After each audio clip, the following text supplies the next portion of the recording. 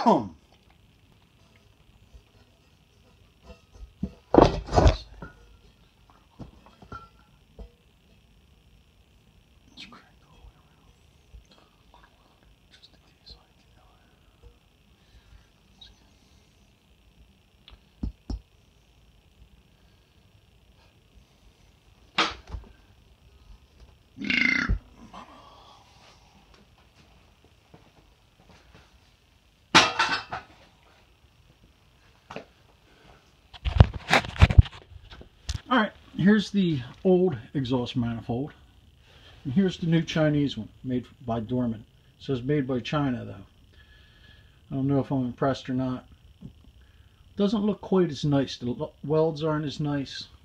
It's supposed to be redesigned OEM, but uh, then when you turn it over, oh, you look in the ports.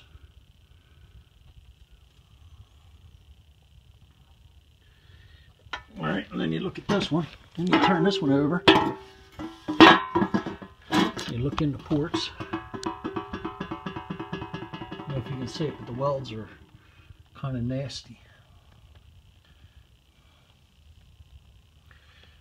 And I mean, you know, it's just an exhaust pipe, but Christ, I hope it doesn't crack.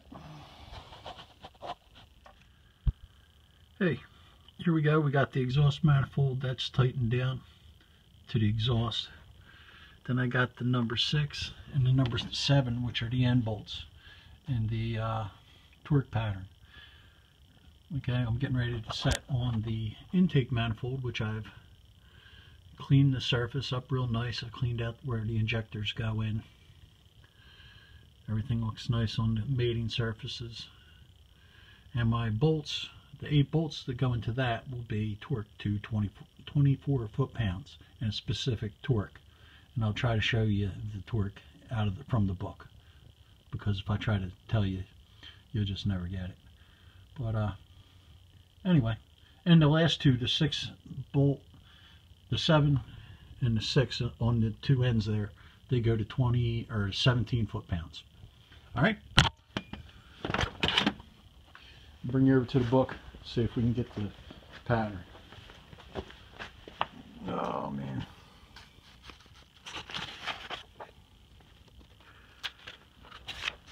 Okay, now this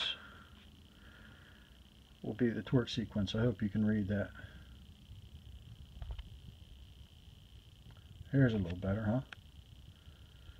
Okay, everything but the 6 and 7 bolts are 24 and the 6 and 7 bolts will be 17 foot-pounds. There you go. I have the exhaust manifold in and I have the intake manifold in. Everything's torqued.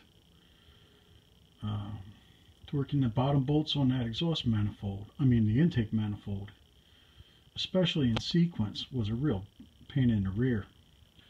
Um, but I did it, you know, and we'll see how it works. So I'm just going to finish up now, put everything back in the order I took it out. And I kind of screwed up because if I pulled out this fuel line, I should have gotten new uh, O-rings for the injectors. And with that, I think I'm actually just going to maybe do the upgrade guessing no injectors. Can't hurt. They got 240,000 miles on them, and they're pretty easy to get off once you once you know how they come off. And new O-rings, you know, this is 98, 2008, 2018, 20 years old. And she's still ticking. She runs pretty good. I mean, she's spilling a little oil out. I should probably do a valve cover. If I don't have it, I'll just go get it. Maybe I'll do that this weekend do the valve cover and put new injectors in. I'll make another video for you. But I'm going to put it back just to see how she runs. All right, take it easy. I'll be. I'll let you know what's going on. Okay. It took me about three hours, and uh, we're going to see if she starts. So I'll be excited.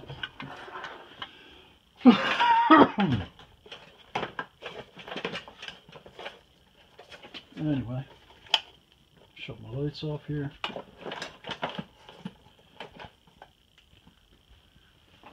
Got it back together.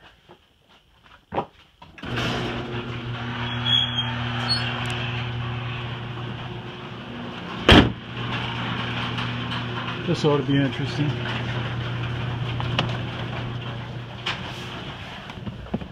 Um, here we are inside the old Jeep. The old Cruiser, man. I hope this goes.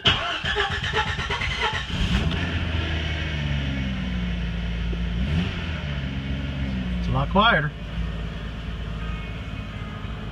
And we got the old ABS light on. That's all. But there we go. Look at miles there. 238, 776. She's purring like a kitten.